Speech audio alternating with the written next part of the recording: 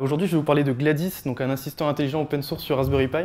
Je vais commencer par me présenter. Je m'appelle Pierre-Gilles Lemarie, donc j'ai 23 ans. Moi, je travaille dans une start-up euh, qui s'appelle Bulldozer. On est dans le 15e à Paris et, aussi à Station F, et je m'occupe principalement du back-end. Euh, et aujourd'hui, je vais vous parler de Gladys, donc c'est un projet open source que j'ai fondé il y a environ 4 ans. Un projet donc de domotique dont l'objectif est de contrôler la maison euh, de façon intelligente. Donc l'objectif du talk, ça va être de vous expliquer un peu euh, comment l'idée est née, euh, comment je l'ai mis en place et comment le projet a évolué au fil du temps pour arriver aujourd'hui et techniquement comment ça fonctionne et des exemples un peu de ce que j'ai mis en place en tout cas chez moi. Donc en fait je suis parti d'un constat environ en 2013, il y a 4 ans. Il y a de plus en plus d'objets connectés et, on les connaît tous. Quoi. Des détecteurs de mouvement, des détecteurs d'ouverture de portes, des ampoules connectées, des thermostats connectés, montres, portails qui s'ouvrent tout seuls, euh, des, enfin, voilà, des, des porte-clés Bluetooth pour retrouver ses clés, des choses comme ça. C'est des objets qu'on voit de plus en plus et qui sont maintenant abordables. Et ça, il y en a de plus en plus. On a de plus en plus aussi de services connectés, c'est-à-dire qu'on utilise tous euh, une application de météo. Euh, dès qu'on veut aller à un lieu, on utilise Waze, on utilise Google Maps. On a besoin d'un rappel, on le met dans son téléphone, synchronisé partout, on écoute sa musique sur Spotify. On a tous ces services qui existent et, et on s'en sert tous. Mais le problème, en fait, c'est que tous ces objets et tous ces services, bah, ils ne se parlent pas entre eux. Euh, mes ampoules, je peux les contrôler chez moi avec mon téléphone, mais dès que je sors de l'app Philips Hue, bah voilà, ça s'arrête, c'est pas terrible. Pourtant, euh, mon bracelet connecté, il pourrait dire que j'arrive à la maison. En fait, tous ces objets, ils pourraient tous parler entre eux pour avoir plus d'informations et du coup euh, m'aider au quotidien. Et moi, en fait, j'ai vu le film Iron Man, et là, on voit Tony Stark, il est dans sa maison, euh, il rentre et directement tout s'allume. Le matin, il se réveille, il y a tout qui, s'ouvre, les stores automatiques, la lumière, une petite voix qui lui parle, il, pose une question, ça lui répond. Et moi, je trouvais ça stylé et je me suis dit, est-ce que je ferais pas ça chez moi, là, dans ma petite chambre d'étudiant, est-ce que je ferais pas ça? Et du coup, je me suis dit, bah, qu'est-ce qui manque? Qu'est-ce qui manque pour faire euh, tout ce qu'il y a chez Tony Stark chez moi?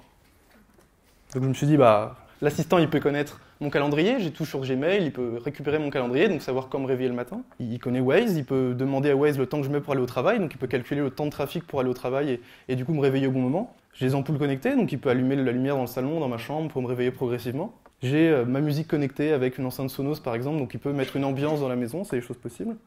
Ma cafetière connectée, euh, détecteur d'ouverture de porte, donc savoir quand je rentre, tout ça c'est possible.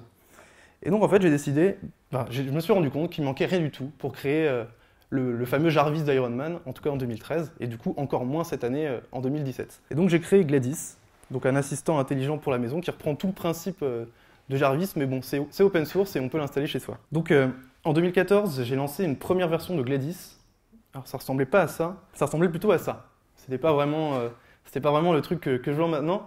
Euh, c'était plutôt juste un petit Raspberry Pi, un petit émetteur 433 MHz et des simples euh, prises télécommandées qu'on peut télécommander. Vous savez qu'une petite télécommande, ça coûte à 15 euros chez, Castorama. Et du coup, là, j'avais juste branché mes prises télécommandées sur ma lampe de chevet et j'étais capable, avec un petit signal que j'envoie depuis le Raspberry Pi, d'allumer ou d'éteindre ma prise chez moi. Donc c'était un premier début et j'ai commencé à publier quelques petits scripts que j'avais fait chez moi et qui permettaient d'allumer les ampoules, de faire des choses.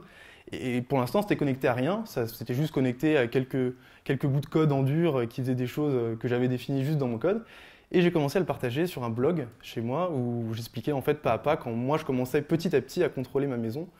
Euh, en tout cas, en, en, commençant par des choses très simples. Et donc pour l'instant, j'avais juste plein de petites briques, mais il n'y avait pas un soft clé en main qui permette de contrôler euh, vraiment tout à la maison. Et donc j'ai bossé pendant euh, presque 6 mois, 8 mois euh, parce que j'avais beaucoup de gens sur le forum qui disaient bah vas-y fais, euh, enfin je dire sur le blog qui disaient vas-y fais quelque chose qui va regrouper tous tes scripts, qui va regrouper tout ce que que t'expliques dans un soft qu'on puisse installer à la maison. Et donc j'ai sorti euh, en 2014 une première version de Gladys qui ressemblait à ça. Et, le résultat était sans appel. J'ai eu énormément de retours de gens qui disaient oh, bah, c'est génial, c'est génial. Maintenant on veut que ça aille plus loin, on veut que ça fonctionne vraiment. Donc ça c'était vraiment un POC. C'était pas vraiment propre en termes de code, c'était pas vraiment un produit fini. Donc j'ai commencé à travailler sur une nouvelle version qui est aujourd'hui Gladys d'aujourd'hui, donc ça ressemble à ça.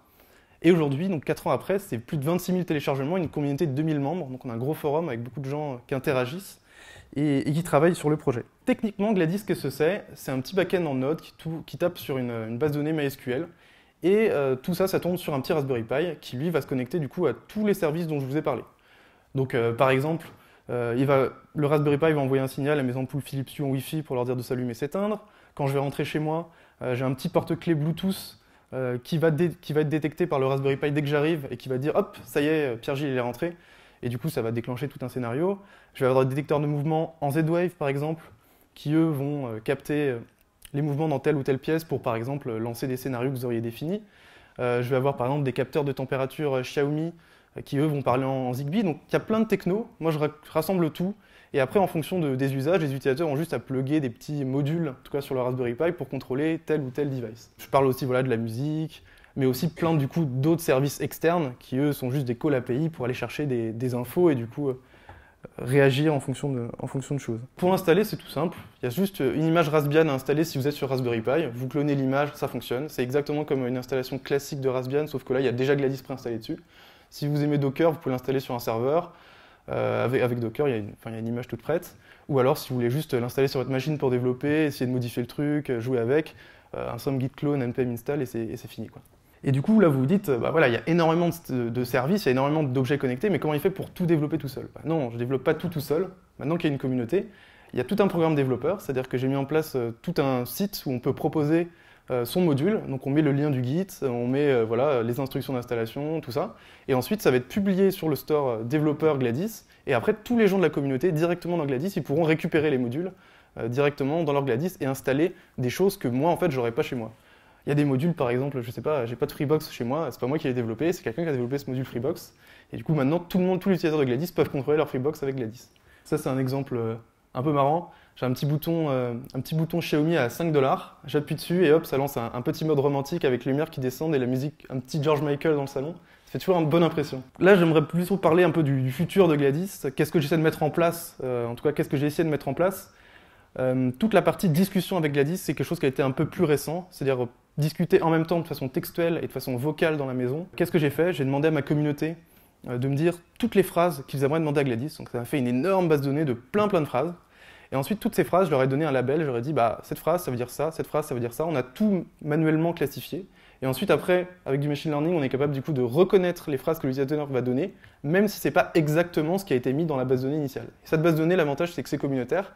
Et du coup, en fait, n'importe qui peut ajouter du coup des, phrases dans Gladys, apprendre, réentraîner le modèle et du coup être capable de, dire de nouvelles choses à Gladys. Voilà, donc merci à tous euh, d'avoir écouté et si vous avez des questions, n'hésitez pas.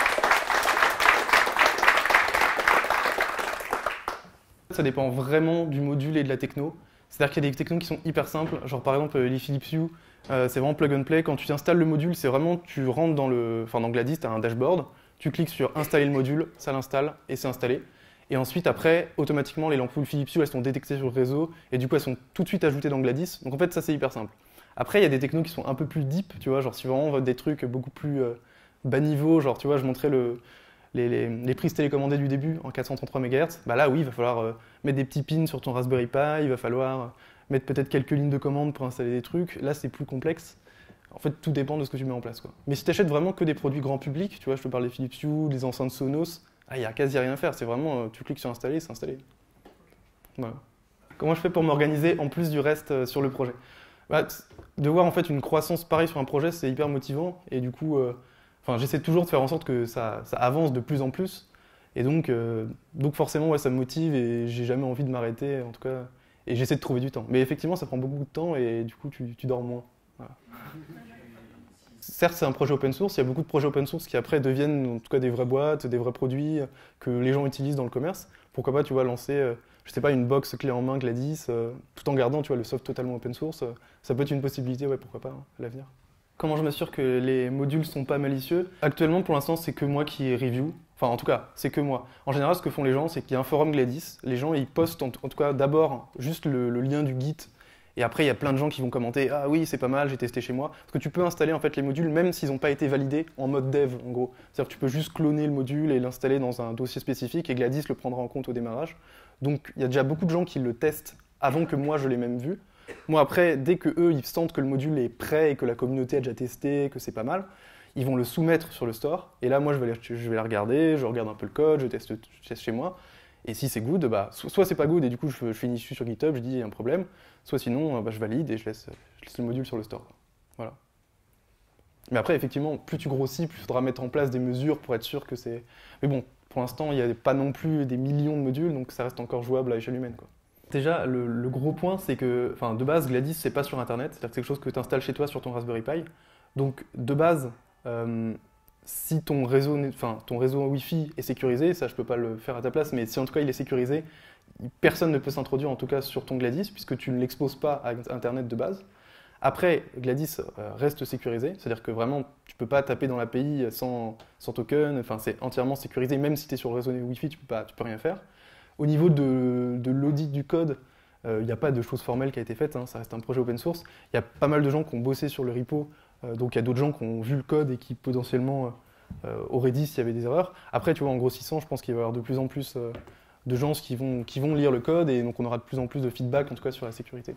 Mais c'est quelque chose qui est pris beaucoup de sérieux et, et je pense que l'avantage en tout cas d'avoir quelque chose de, self-hosted, d'open source, c'est que contrairement à tu vois, une grosse boîte où ce serait vraiment centralisé et là complètement open, là au moins on n'a pas, le, pas le problème, pareil en termes de vie privée, tu vois, c'est chez toi. Après en tout cas la sécurité des objets connectés qui sont achetés, euh, pas, je peux pas vraiment faire grand chose euh, à part euh, préconiser que des objets qui sont sécurisés. Au niveau de la monétisation, c'est pas monétisé. Après, j'ai lancé il y a, enfin, cet été un starter par Gladys. En fait, en gros, ce que je fais, c'est que je vends tout un ensemble de vidéos que j'ai filmées, plus un e-book complet pour, qui explique vraiment pas à pas comment installer Gladys chez soi. L'objectif, c'est de pouvoir, un, de rentrer dans les frais, parce qu'un projet, même si c'est open source, il y a plein de choses, des serveurs, un forum, il y a beaucoup de monde, ça coûte cher. Euh, des mails à envoyer, ça coûte cher. Enfin, il y a plein de frais, des déplacements, enfin des choses comme ça. Du coup, ça permettait de rentrer dans les frais et puis de voir aussi si est-ce que euh, c'était prêt à pouvoir être monétisé euh, tout en restant open source. Donc c'est, on va dire, Mimi actuellement. Euh, et après, pour l'aspect, pardon, ta deuxième question, c'était sur.